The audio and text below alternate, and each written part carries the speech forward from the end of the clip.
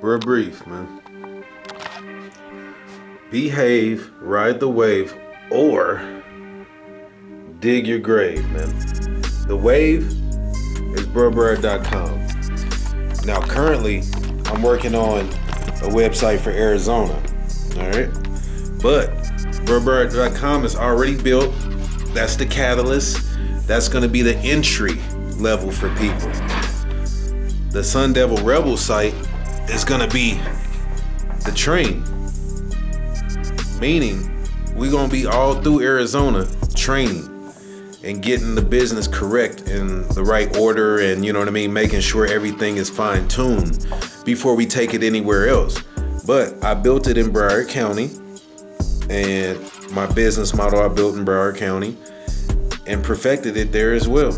You know, over the last 15 years. It's just I fine tuned it over the last two years and rearrange things, put things back connect with this person, connect with that person. This person has ideas, yada yada yada yada. But anyway, either way it go, it's built and it's ready to go. You know what I'm saying?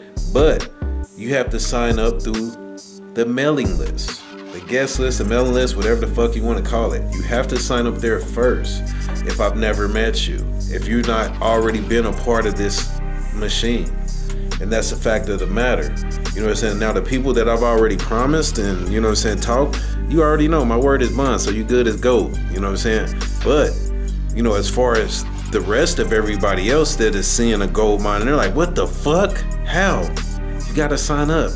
And I'm dead ass serious, man. If you don't like your life, dude, or if you fucking, you know what I'm saying, want a different life, or whatever it may be, you know, we're gonna help you get there. But you gotta follow directions, man. How you think I got into the position that I'm at? Following directions, following orders, and doing what I'm supposed to do. Understand that. You know what I mean? You get nowhere by not following directions.